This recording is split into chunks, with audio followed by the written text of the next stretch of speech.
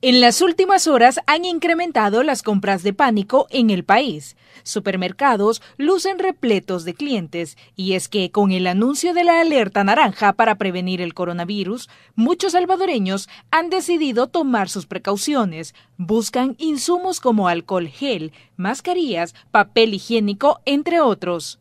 Pero al parecer en Internet las reglas son otras. Algunos productos higiénicos ya se comercializan a precios por sobre lo normal. El presidente de la República ordenó que la Defensoría del Consumidor esté pendiente de los precios de estos productos y evitar que algunos comerciantes se aprovechen de la cuarentena. No se puede subir precios aprovechándose de la declaratoria de emergencia, aprovechándose de la cuarentena, aprovechándose de la pandemia.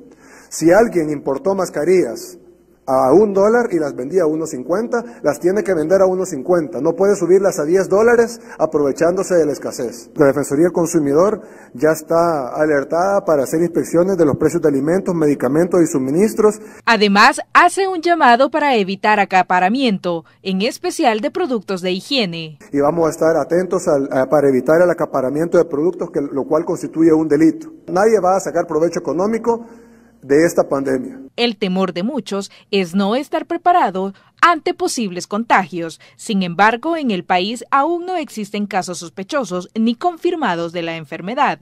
Las medidas de prevención son importantes, pero autoridades hacen un llamado a mantener la calma. Tatiana Funes, Noticiero Hechos.